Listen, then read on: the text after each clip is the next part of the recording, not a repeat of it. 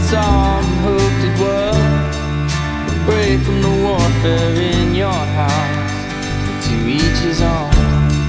A soldier is bailing.